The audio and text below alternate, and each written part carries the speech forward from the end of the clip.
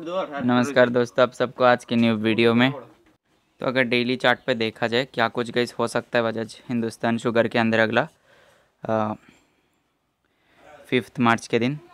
तो यहाँ से देखा जाए स्टॉक पे अच्छा खासा तेज़ी देखने को मिल रहा है जैसे कि आप लोग देख सकते हो। यहाँ से एक ट्रेड लाइन ड्रॉ करता हूँ। यहाँ से देखो कुछ इस प्रकार से पैटर्न बना रहा है स्टॉक। पैटर्न को ओवरऑल देखे तो गई एक higher high higher low pattern बना रहा है। तो आप अगर इसका सबसे पहला काफ़ी स्ट्रॉन्ग सपोर्ट को देखे, जो कि आप लोग फॉलो कर सकते हो यहाँ पे थर्टी फोर पॉइंट ट्वेंटी पे है। अगर इसका आगे ब्रेकडाउन आता है, तब इसका आप लोग अगला सपोर्ट फॉलो कर सकते हो, जो कि थर्टी टू पॉइंट एट्टी पे है। अब रेजिस्टेंस को देखा जाए तो गई इसका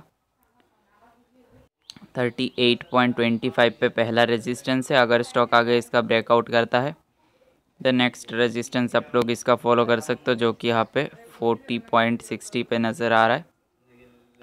यहाँ से आगे तेज़ी दिखा सकता है अच्छा खासा लेवल पे फॉलो कर सकते हो और मुझसे कांटेक्ट करना है तो अबाउट पे कांटेक्ट मिल जाएगा।